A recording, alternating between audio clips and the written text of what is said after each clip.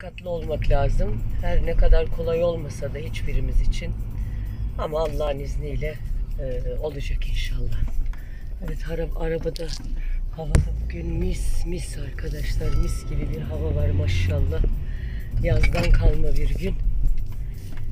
Evet.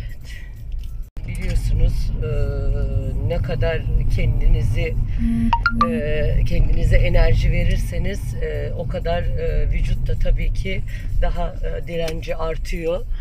Ama e, ne kadar negatif enerjileri çekersek e, hastalıkları daha rahatlıkla üzerimize çekebiliyoruz. Allah korusun. Mecburiyet olmadan hakikaten evden dışarı e, çıkmıyoruz.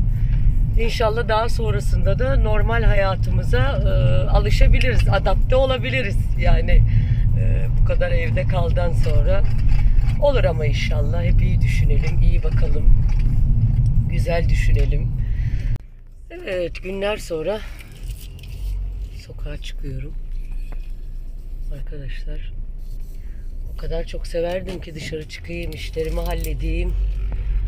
Bu aralar e, böyle hiç e, dışarı çıkasım yok. İyice eve kapandık yani. E, mecburi ol